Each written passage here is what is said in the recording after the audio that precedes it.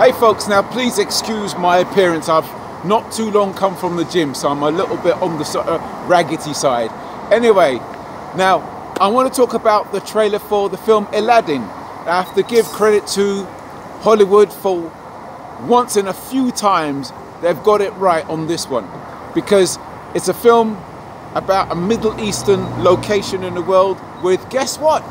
Middle Eastern looking actors. Now normally when they have a film like this, what the Hollywood usually makes the mistake of getting some Northern European looking actor, maybe darken he or her up a little bit, and pose them as someone from the Middle East.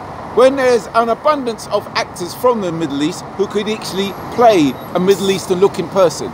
Catch my drift? So I'd like to just say, for a very few times, Hollywood, you've got it right and I'm glad to see you're featuring the right looking people for the right part of the world. And on that note I will donate my my pennies to go and see the film. Thank you thank you thank you very much. Okay bye. Okay see ya